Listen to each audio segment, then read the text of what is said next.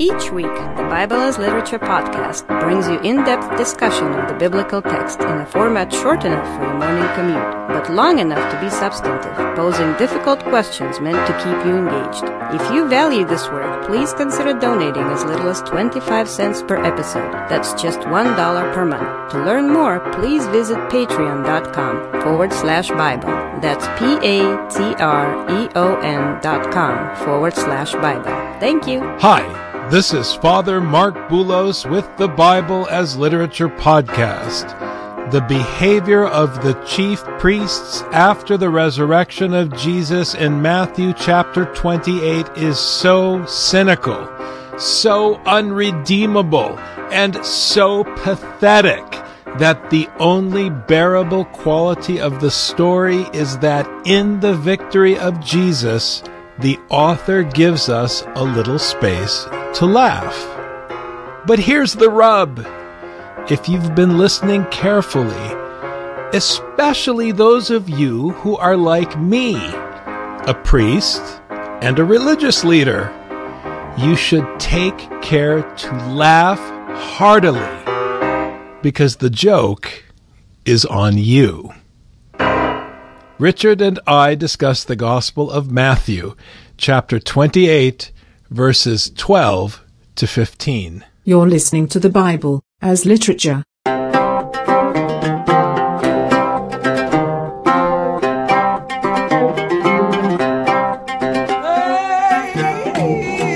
Hi, this is Father Marc Boulos. And this is Dr. Richard Benton. And you are listening to episode 426 of the Bible as Literature podcast.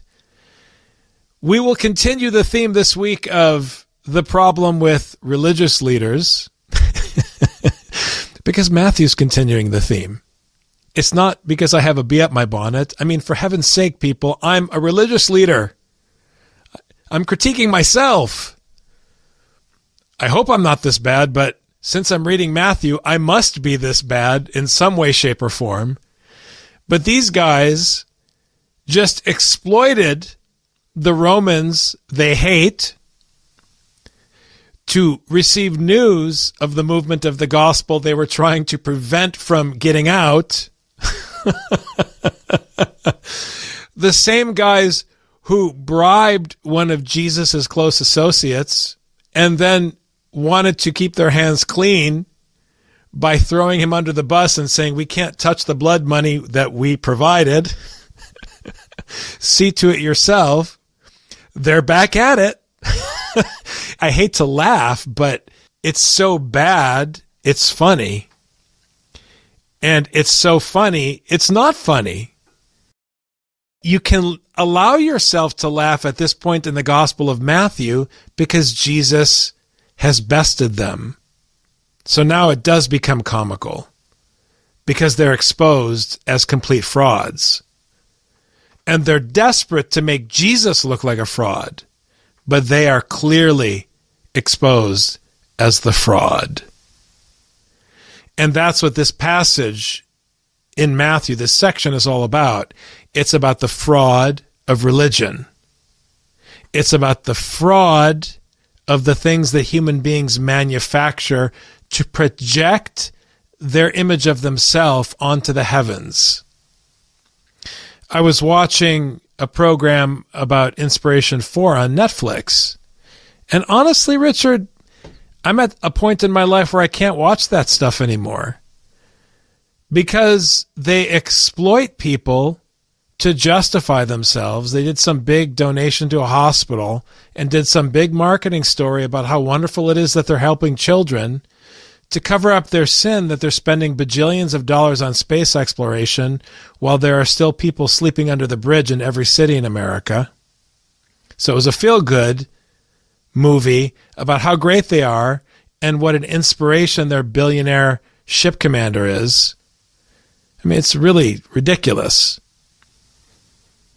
But ultimately, what it's about is the Tower of Babel.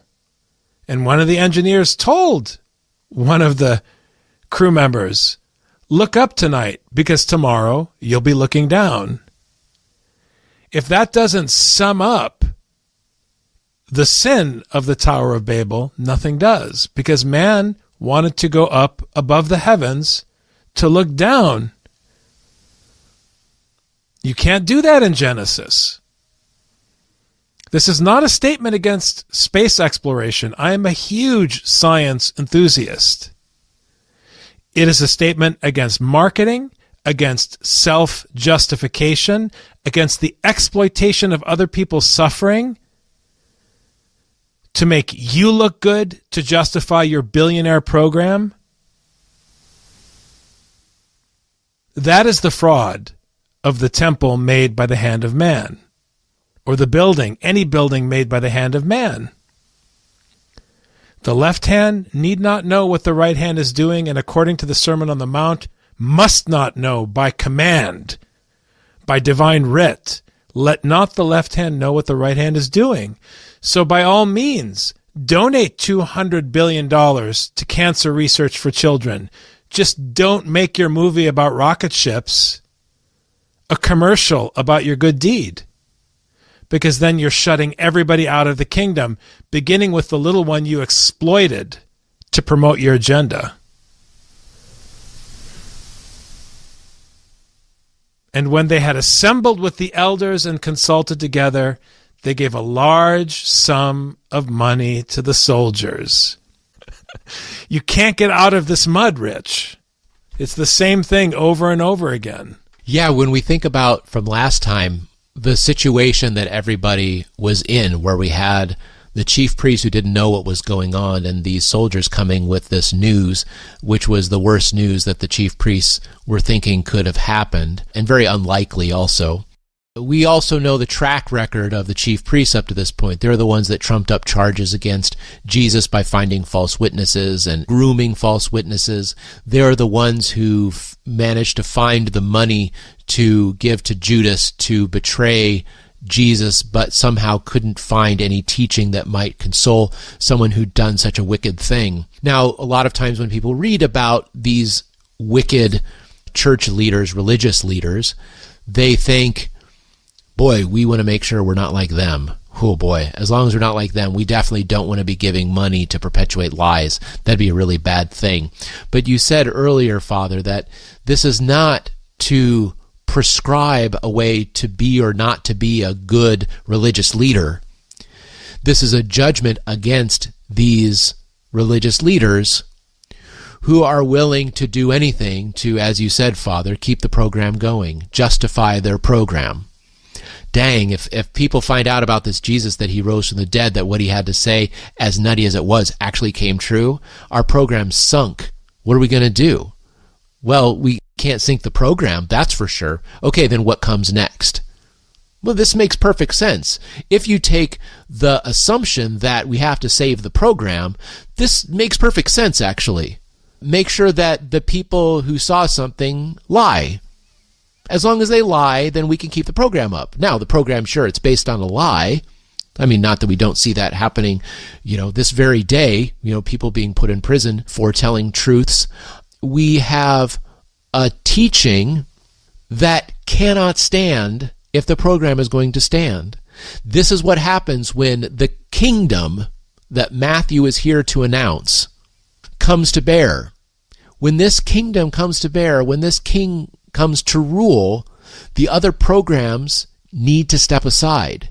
Not just the high priest's program, but even the Romans program, even Caesar's program needs to step aside in the face of this one who comes, whose feet walk to carry the good news, to carry the gospel to those brethren who might be willing to listen and obey his father. So they gave a large sum of money to the soldiers and said, You are to say, His disciples came by night and stole him away while we were asleep. This was their concern all along. That's why they installed the guards, the custodians. And when their fear, which was actually a hope, didn't come true, now they have to manufacture it. So who is the fraud? This is the last sin becoming worse than the first. It's being fulfilled. It's being portrayed before your eyes in the gospel. This is the point. The fraud of religion after the resurrection is much worse than the fraud of religion before the resurrection. Because if you still believe in all this nonsense after Jesus accomplished what he did under the order of his Father, then there's no hope for you. Even if someone should be raised from the dead, they won't believe. Remember that teaching. Memorize it. And recite it to yourself in the mirror. Because it is the gospel's truth. These are men, the educated, trained practitioners of wisdom the professional people. That's what happens when you take a paycheck to deliver wisdom. You reinvest a portion to make sure that the actual person delivering wisdom for free doesn't ever see the light of day because it's bad for business. This is the fraud. And now they know for a fact that Jesus is the real deal and they're still willing to cut a check to save their business. It's a story. They're characters in the text, and I feel embarrassed for them, Rich. Bearing false witness is the program for the chief priests. That is what their accusation was based on. That is what their explanation is based on. I like how you brought this together, Father, where you said their fear was that the disciples would lie saying he rose from the dead, so we need to lock down the body. Then the body went missing, and now they have to pay the soldiers to lie. They were worried about the disciples lying. Now they have to make sure that the soldiers lie. They're not against lies. They're against those who would compete with their program. They want their program to stay alive and they'll do anything. They'll manufacture the data that's necessary. They'll manufacture the stories they need. They'll hire the marketing consultants who are able to deliver the message with the most beautiful sound to it. They're going to convince all the naysayers. This is the only way to compete against the kingdom the kingdom of the heavens. The kingdom of the heavens is based on truth in this way. These are the lies, the false witnesses that they have to perpetuate if they have any hope. But they don't have hope. They tried to trick Jesus. It didn't work. They tried to trick other people to say something false about Jesus, and it didn't help. And finally, they tried to lie to the soldiers, and we'll see if it's going to help or not. Hint, it's not going to help. I'm thankful to the Gospel of Matthew for giving us the license to laugh here. Otherwise, it would just be an unbearable story. Simply by having Jesus greet the women and speak to them, and then presenting us with these keystone cops, the chief priests, Matthew is giving you license to laugh. And the sad thing is that Jesus is rushing to preach, preach, preach, preach, preach the truth the women are rushing to preach, preach, preach, preach, preach the truth. And it's important that they are women because motherhood is the expression of God's mercy in the Bible. We've said that many times. I hope it's sinking in finally. And these religious leaders are rushing with as much zeal and equal zeal to suppress the truth. And they're willing to fund lies that's the ultimate blasphemy. You can't go further than that. You can't go further than being completely aware that Jesus was raised by God the Father and then literally going on a campaign to make sure nobody knows. It doesn't get worse than that. I want everyone hearing the podcast to understand that's as bad as it gets. That is as cynical as it gets. And that is how Scripture views industry it's how Scripture views human construction. It's how Scripture views everything man builds by his own hand. It's how Scripture views everything we value. And it is trying to pull away from all of that to lead us back to the wilderness at the beginning of the Gospel of Mark. That is the cycle. That is the gift of the remnant. You have a few people left to give birth, and we begin again in the wilderness. And God, who is merciful, doesn't give up on us, that we will remain sheep in his flock and not wander back in to the city and try to resurrect the line of Cain. It's as simple as that. But there are four gospels and there is a much longer story from Genesis to Revelation that we have to keep hearing over and over again every year. So I'm pretty sure that the writers of Scripture knew that we weren't going to listen, Rich. And if this should come to the governor's ears, we will win him over and keep you out of trouble. Look, they're talking like true practitioners of real politic. We get all the angles figured out, guys. We've got your back. Don't worry. We've got the politicians in our pocket. Because as leaders of the church or leaders of the synagogue, the main thing is we have good relations with the local politicians. I have nothing else to say about that verse except that, Rich. Yes, they definitely have the ear of the governor.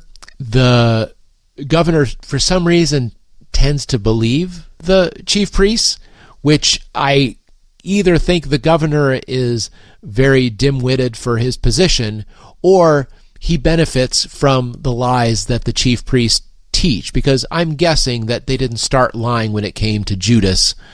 I'm assuming that they started lying long before this so that they could keep the program going. When they say, we're going to make you secure, amerimnus. Amerimnus comes from the word a, meaning the negative, and then merimna. That means anxious or care. So literally, will make you relaxed. Don't worry, we're going to make you relaxed. They know how to make the governor relax. They know how to make the soldiers relax. They've got it all covered. The only problem is, is that Jesus was a thorn in their side and they couldn't relax. They couldn't figure out that one, so we'll kill him. Don't worry, we know how to take care of this sort of business. We have lies that we can tell, and we have people whom we pay so that they are willing to hear them. So, this strong contrast between the feet of those who are there to teach, to bring the gospel, the ones who bring the teaching from heaven, the brothers who are hearing the word of their Father and doing it, like we heard earlier in Matthew. The opposite is these ones who are founded completely on lies, who know other people willing to hear those lies. So it's the truth versus a lie at this point. Now, here's the thing truth and lie, I mean, this has become political nowadays. Truth is something that people I believe say, and lies are something people I don't trust say. This is how people use the words. In Russia, it's against the law to tell lies. That's the case. But what is the truth? That is set by a higher authority, and then a lie is something that goes against that authority. The authority in Matthew is the kingdom of heaven, beginning with, as you mentioned before, Father, the Sermon on the Mount. This is the word that's authoritative. This is the truth that's there. The human being who tries to reconcile the Constitution and the gospel is only going to be able to do so by lying. They're in conflict with each other. As soon as you cover over that conflict, that tension, you are lying. And the way you lie is the same way that these people lie. You find people who are already willing to hear your lies. And the reason for lying is the same reason as these people. You want to keep the program going. So you must begin with Scripture and then weigh your constitution or your essay or your political ideology against Scripture. Scripture is the only reference point for what is true. Not your conception of Jesus, the feeling you have about Jesus in your heart, the words of Scripture that we hear when they are read. And they took the money and did as they had been instructed And this story was widely spread among the Jews and is to this day. This is a tragic verse. They took the money, so you paid the Gentiles, and the Gentiles did as they were instructed by the Jewish religious teachers. That word instruction, which is, of course, related to the word Torah, the word is didasko, to teach, to instruct, but it's related to the word Torah because Torah means instruction, teaching. So, what are you teaching them? You're teaching them not to teach the Torah. You're teaching them to shut the Torah out. And that story, which is a lie, was spread widely among your own people while Jesus is spreading the story of God the Father, the Torah, among the Gentiles. So you succeeded in shutting your own people out of the kingdom, which is Paul's accusation in Galatians. That's the game people play. To this day. Now, it's not about the historical Jewish people. You can't turn this into your anti Semitism, your historicization. It's about anyone who hears this story the minute you hear this story, you are judged as one of the villainous characters in the story, which is all of the characters ultimately. It's literature. You can't historicize. And if you haven't figured that out, that this text is addressed to the Gentile church, that's the rub about this who moved the cheese metaphor. If the cheese has been moved, and these women, ultimately Mary Magdalene represents the Gentile church, then this gospel is very hard on the Gentile church. Because if you've received this gospel, then it applies to you, then you're condemned by it. It has nothing to do with identity. Identity in the story has a value because identities are played off against each other as a functional judgment. But ultimately, as I said, he holds the whole world in his hand. Everybody, all of humanity, and the oneness of all of humanity. That's the point of the three sons of Noah and the oneness of the three sons in the Old Testament. So come on. Just realize the tragedy of you succeeding at establishing your unity in the oneness of the identity of your religious group against the world. Good, you've succeeded. Your people hate the world and they love you. And because of that, they're not hearing what Jesus is saying. And then guess what? We have an Orthodox war in Eastern Europe. Yes, the ones who are hearing the lie who want to continue the lie, who perpetuate the lie, are the ones who are aligned with these high priests. Those are the Jews we're talking about here. We're not talking about the Schwartzes who live in New York or something like that. That's not what we're talking about here. So I agree, Father. I don't want to go down the path of anti Semitism. That's not what this is about. This is about those who are unfaithful to the word of the Father, who align themselves with religious leaders who lie. This is a judgment against the religious leaders in general and against their followers. This is a very harsh treatment to those who are hearing these words. And one thing that your translation said they perpetuated this story after they were taught it. But it's ologos. They were taught a word which they perpetuated. The soldiers are the anti Marys. The Marys are here to teach the word of the resurrection that Jesus spoke to them about, that they heard from the angel. The soldiers heard the same angel speak, but they, instead of bumping into Jesus on the way to informing the disciples, went and ran to the high priest to tell them what happened so they could save their own behind. And in order to save their own behind, they were taught a false word that then they could perpetuate to others. So the Marys, who were very concerned about saving their own behinds before, they were the ones who were standing afar off. The soldiers were close by. Then in the end, the soldiers were the ones who skedaddled, and the women, the Marys, who got down to business in spreading the word of truth, the word that Jesus taught them, as opposed to this word that was taught to the soldiers by the high priests. Thanks very much, Dr. Benton. Thank you, Father. You've just heard the Bible as literature. Thanks for listening. The Bible as Literature is a production of the Ephesus School Network.